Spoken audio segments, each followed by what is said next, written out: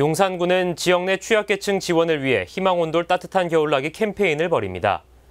내년 2월 25일까지 진행되는 캠페인에 성금이나 성품을 접수하면 기부 영수증이 발급됩니다. 용산구는 구청 복지정책과와 16개 동주민센터, 용산복지재단의 창구를 마련했습니다.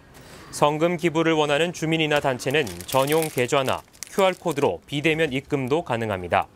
올해 용산구의 모금 목표액은 13억 5,200만 원입니다.